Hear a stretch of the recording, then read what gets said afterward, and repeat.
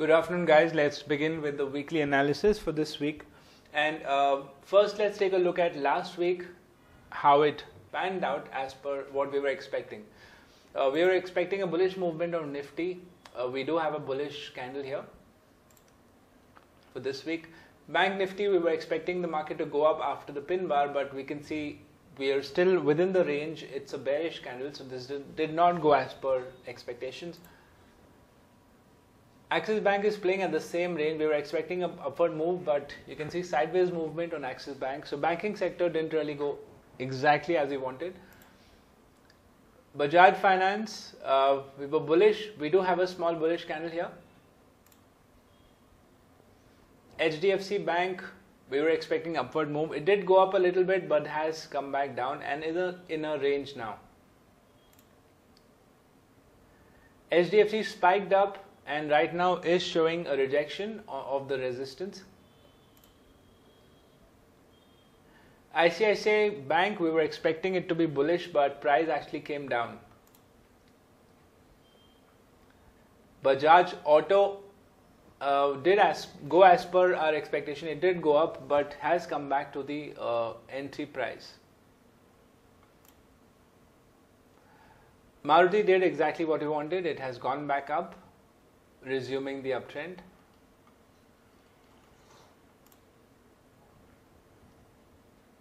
ITC, we were bullish, price did go up, but you can see it got rejected, uh, came back to the entry price.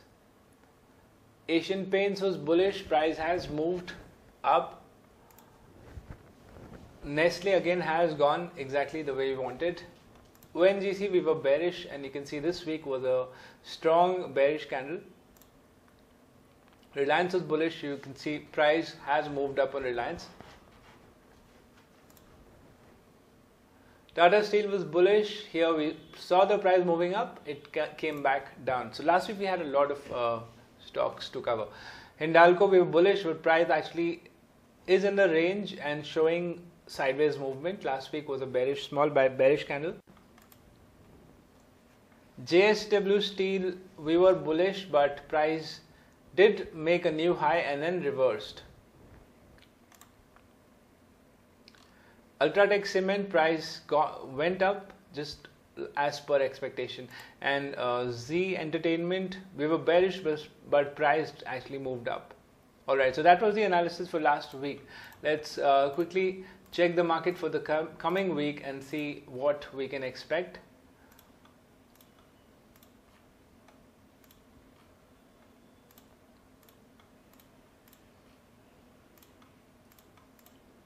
Starting with Nifty, you can see this week price has gone up, but then looking at the candlestick, right, it shows that um, there is not much of the much of a strength in the upward move.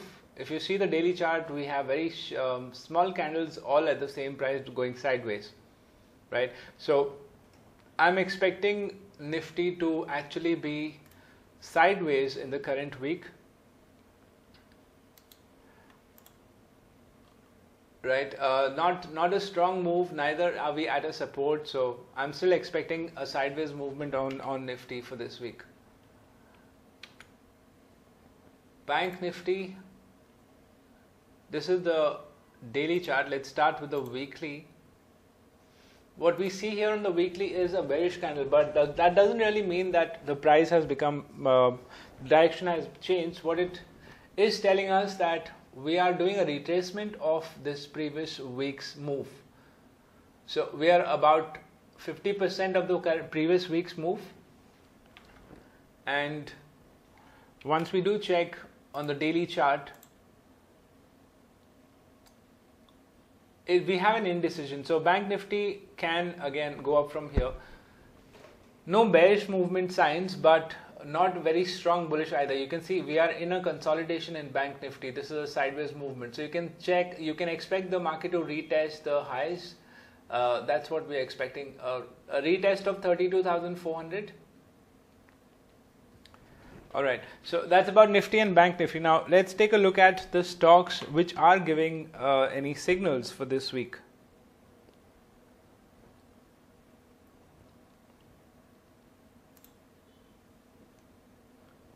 starting with HDFC.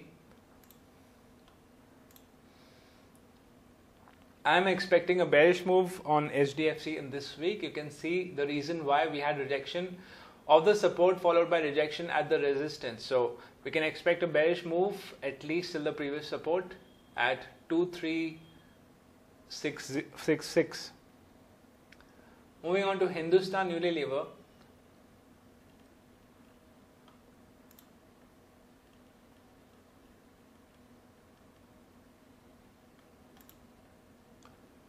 Uh, Hindustan Unilever, you can see the candlestick which is formed, Marubozu, after a pullback and from the support, right? So you can expect the market to retest the high of 2191 very soon. So I'm bullish on Hindustan Unilever for this week.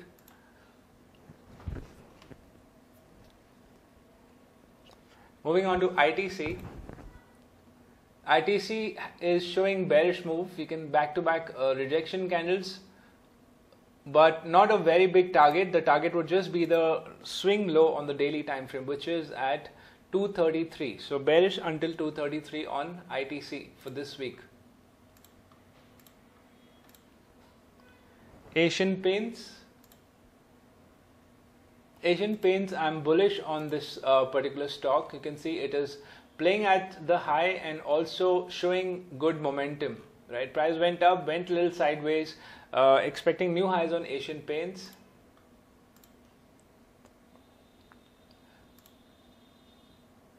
Britannia again bullish. You can see the reason we have a strong engulfing of the last uh, a lot of weeks actually. One, two, three, four, five, six. About seven weeks of movement has been engulfed. So bullish on strongly bullish on Britannia.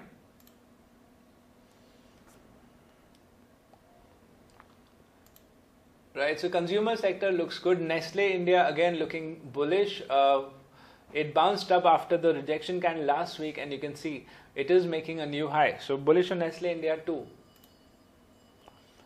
NTPC we're expecting a bearish move because uh, price is rejected at the resistance. So although we're expecting a bearish move, we're just targeting the nearby support at 114. And the last one for today, Reliance, uh, you can see price is moving up strongly. So the recent high at 1624 should be tested anytime now. These are the stocks which I have on my watch list for this week, and these are the only stocks that I would be following because these are giving me clear signals. Right? For intraday trading, I would go into lower time frames and get into the entries on the 5 minute chart, sticking to the same direction. All the best to you, and see you guys next week. Thank you.